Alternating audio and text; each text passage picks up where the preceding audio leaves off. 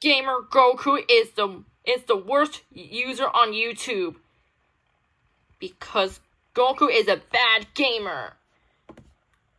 I hate I actually hated this user because Gamer Goku is bad.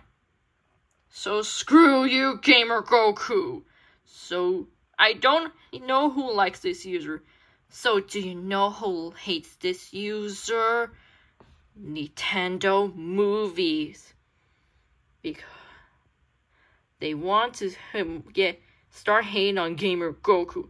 So screw you, Gamer Goku, and and screw your or YouTube channel.